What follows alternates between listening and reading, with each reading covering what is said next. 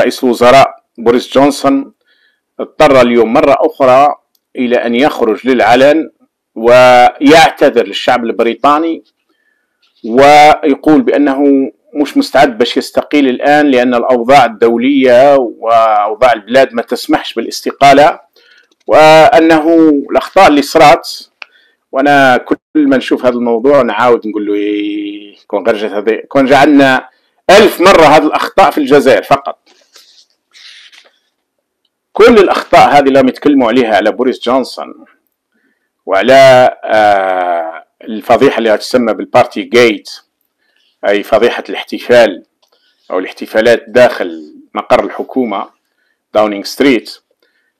كلها كل هذا المشكل اللي راه مطروح وقايمة القيامة في بريطانيا ولم تقعد ما بين الأحزاب المعارضة المجتمع المدني الصحافة أصحاب الرأي كلها قائمة على أنه في وقت الكورونا في وقت الكورونا آه، صارت حفلات داخل مقر الحكومة. ومقر الحكومة هذا مش قوي قصور واللي يعرف بريطانيا أو اللي مر على داونينغ ستريت ويعرف عشرة داونينغ ستريت هيشوفها يعني.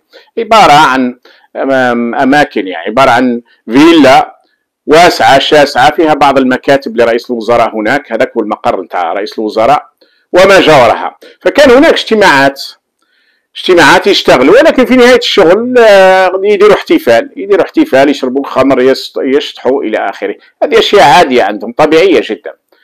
لكن القيامة قامت على بوريس جونسون قالوا له كيفاش أنت رئيس الحكومة وكاين اللي كاين وزراء وكاين أنتم اللي أصدرتوا القوانين والتعليمات وكيف يتم تنظيم المجتمع أيام الكوفيد واللي وصلت إلى درجة إنه ما يستطيعش ان يجتمع أكثر مرات أربع أشخاص وما يستطيعش مثلا أسرة تزور أسرة في فترة معينة ومره من بعد وصلوا إلى ستة أشخاص إلى آخره. يعني كان كل مرة يبدلوا آه، يقل يقلوا أو يزيدوا شوية حسب آه، الحالة اللي كان عليها الوبائية في بريطانيا. قالوا لهم كيفاش أنتم اللي أصدرتوا هذه القوانين ما التزمتوش بها؟ بمعنى قوانين التباعد الاجتماعي. كل التهمة اللي راه يعاني فيها رئيس الوزراء هذا اللي عنده سلاح نووي تحت يده واللي هو عضو في مجلس الأمن الدولي عضو دائم كل ما يعانيه كل المشكلة اللي دارها هو أنه لم يراعي التباعد الاجتماعي كما كان في تعليمات الحكومة. ف خلينا نسمعوا له مقطع هنا ثم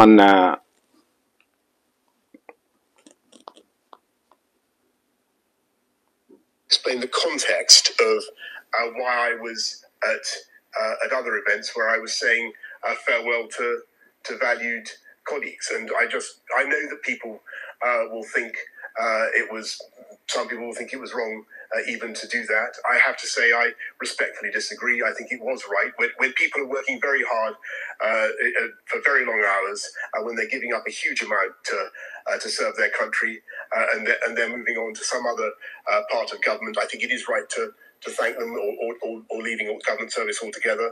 I think it is right to, to, to thank them. And I repeat what I what I said in the in the Commons earlier on. Um, you know, uh, I believe that they were, were work events. Uh, it's, they were part of my job, and um, uh, that that view appears to be substantiated by the uh, the fact that I wasn't fined uh, for those events. Uh, for the rest, I just want to say, you know, I I appreciate that things didn't go in the way that I would want would have wanted. To. They, the events proceeded afterwards in uh, the way that uh, I certainly wouldn't have uh, wanted to see. What happened with the uh, custodians was plainly, uh, and, and, the cleaners was plainly, utterly unacceptable. And I, I you know, I apologise for, for that as, uh, as I've apologised to them personally. هنا يشرح وقال لهم بانها في الحقيقه هذه الاحتفالات اللي تمت كانت للناس كانوا يشتغلوا ويشتغلوا ساعات طويله جدا وكان من الطبيعي انه ياخذوا شويه يعني بريك يعني ياخذوا مك ساعتين ثلاثة يتنفسوا فيها شوية يشربوا شوية خمر أو يديروا شوية موسيقى أو وهذا أمر طبيعي عندهم. فقال لهم إحنا ما درناش حاجة خطأ كبير لكن مع ذلك أنا تعلمنا الدروس وراهي الحكومة راهي الشرطة آه، دارت لي غرامة وأنا قبلت الغرامة ودفعت الغرامة. تخيلوا رئيس الوزراء الحاكم يعني. الملكة هنا هي دورها بروتوكولي فقط. الملكية في في بريطانيا ليست إلا بروتوكولي وبعض يسموها فقط لجلب السياح يعني. يعني الحاكم الحقيقي هو هذا. يعتذر ويدفع غرامة دارتها له الشرطة. واليوم لما المعارضة والإعلام الحقيقي خرج له وقالوا له لكن حتى الموظفين تاعك راهم أهانوا بعض العمال تاع النظافة لما قالوا لهم راكم ترموا في القراع وراكم سكرانين ورميتوا قراع ولا رميتوا حاجات هكذا ما كانش حقكم قال لهم أنا نعتذر لعمال النظافة نعتذر لعمال النظافة وقدم اعتذارات وكررها عدة مرات. طبعا الحديث نتاعو طويل يعني أنا جبت منه دقيقة فقط. رئيس وزراء يعتذر لعمال النظافة رئيس وزراء يعتذر للشعب رئيس وزراء يدفع غرامة رئيس وزراء يعتذر للبرلمان ويعتذر للشعب البريطاني يعتذر للصغير والكبير. وش دار جريمته؟ العمال الموظفين اللي معاه بعد ما كملوا الخدمة نتاعهم اجتمعوا على كاس تاع خمر وداروا شوية موسيقى. هل هذا ممنوع؟ عنده؟ مش ممنوع. الممنوع فقط أنهم لم يحترموا التباعد الاجتماعي اللي كان مفروض من طرف نفس الحكومة. راه خرج حوالي أربع مرات أو خمس مرات في هذا الربع شهور الأخيرة. وأربع مرات أو خمس مرات وهو يعتذر. ويقول سامحوني غلطنا إحنا تعلمنا راح نتعلموا منها دروس. هاي لماذا؟ الأنظمة. التي يأتي بها الشعب. هاي علاش تخاف؟ آه في بريطانيا كاين لوبيات وكاين تدخلات وكذا كله كاين. لكن في النهاية في النهاية كاين شعب بريطاني هو اللي يفصل ما بين ثلاثة أو أربع أحزاب ويأتي بهذا أو بذاك. في النهاية. هو علاش الحاكم لما يكتشف لما يرتكب خطأ ولو صغير مثل هذا اللي بالنسبة لنا إحنا مش خطأ أصلا يصبح في حالة مزرية لأن هناك إعلام يروح يبحث في كل شيء ويدقق في كل شيء ويسأل عن كل شيء. قناة البي بي سي عاملة برنامج كامل نظن البارحة أو قبل البارح مسمينه بانوراما على هذه القضية. لأن يعني هذه القضية أصبحت قضية رأي عام. وكثيرين قالوا لولا أن الحرب في أوكرانيا والروس هذه حرب روسيا على أوكرانيا لكره سقط منذ الأسبوع الأول. لظهور هذه القضية قبل أربع شهور أو خمس شهور. هاو علاش دولة مدنية مهمة؟ هاو علاش؟ لكن دولة مدنية بحق راهو خاطر ثاني عندنا الدول المدنية المزورة يعني. دولة مدنية بحق. قضاء حقيقي شرطة حقيقي شرطي ربما الرتبة نتاعو ملازم وحتى سيرجان شيف هو اللي دار الغرامة لرئيس الوزراء.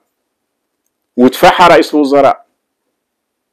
ومع ذلك الصحافة والمعارضة وصناع الرأي شنوا هجوم على الشرطة. قالوا لهم لا كان كان لازم العقوبة تكون أكبر من ذلك.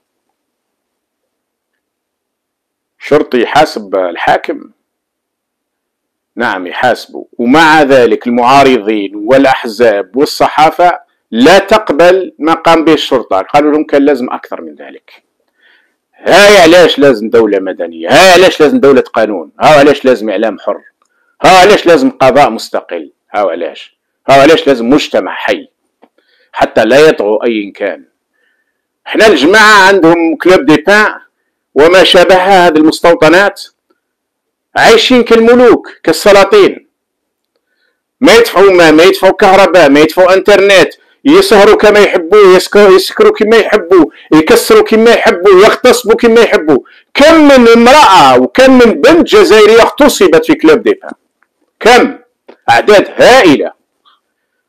بل أن وصل هذا ولد ملزي اللي لما انقلبت الأمور في السجن الآن عبد الحميد ملزي وصل أنه يغتصب بنت ويقتلها. ولا شيء يتحرك.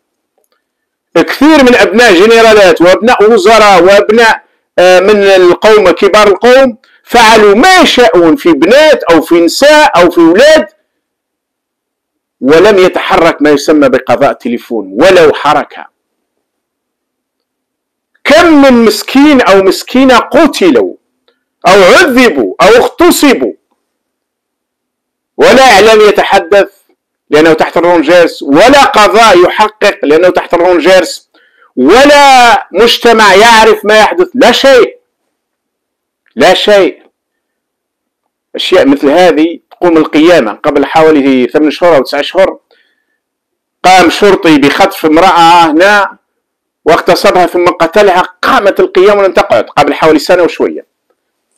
ما قاعد الدنيا ثارت القيامة قامت.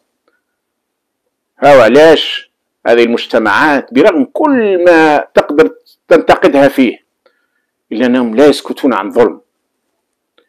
سواء ظالم بوليسي جدارمي والي وزير جنرال رئيس وزراء ملك أمير أمراء هنا في هذه البلاد أمراء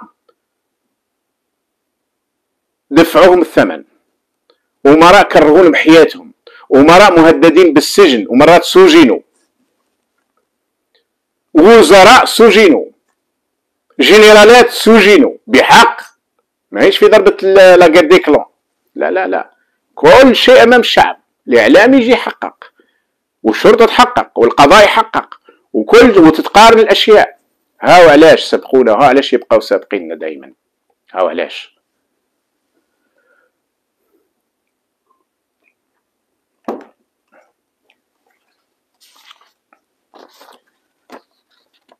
واش يقول له رئيس الحزب العمال المعارض يقول له لا يمكنك أن تكون مشرعا وأن تخرق القانون. حان الوقت لتحزم أمتعتك.